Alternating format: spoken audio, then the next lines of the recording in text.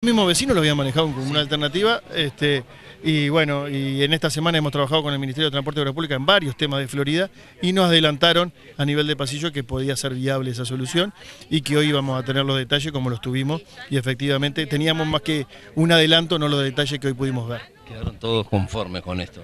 Sí, creemos que sí, sobre todo con una actitud de, bueno, de, de, ver de solucionar los problemas entre todos. A veces no hay solución para todas las inquietudes y se dice claramente que no es posible y bueno, y algunos se verán con determinada afectación porque este, es un proyecto de, de gran envergadura. Y bueno, eh, sí, creo que la satisfacción es, es, es general y compartible y, y estamos este, satisfechos. Son pocos los lugares que se ha visto afectados como esta zona, Intendente, en cuanto a lo que es algún comercio que ha tenido que cerrar.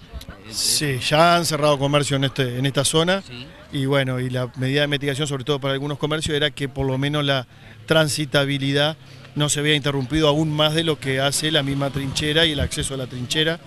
Este, y bueno, y esa solución que hoy proponen este, contempla esa situación y bueno, eh, pero sí, eh, hay un cambio claro en, la circulación en esta zona porque ahora para cruzar la vía férrea hay que acceder por la trinchera o eventualmente algún otro paso. ¿Y desde la Intendencia se ha hecho algún, algún, algún beneficio, se le ha dado a los comerciantes en, en lo que tiene que ver, por ejemplo, con tributos?